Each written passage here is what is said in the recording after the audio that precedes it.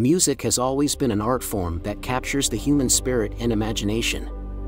But what if we told you that machines can also create hit songs? Thanks to advances in artificial intelligence, AI, machines are now capable of composing, producing, and even performing music.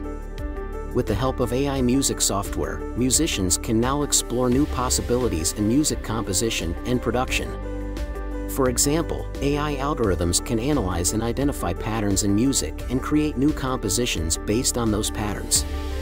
They can also generate lyrics, melodies, and harmonies, and even suggest different instrumentation options.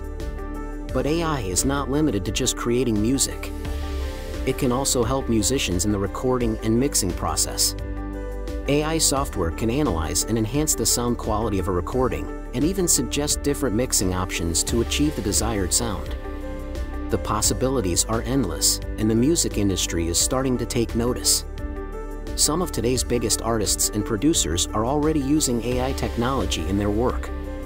But there are also concerns about the role of AI in music. Some fear that it could lead to a lack of creativity and originality in the industry.